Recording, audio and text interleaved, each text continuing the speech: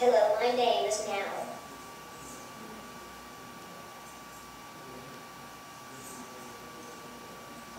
Cheers from Mexico.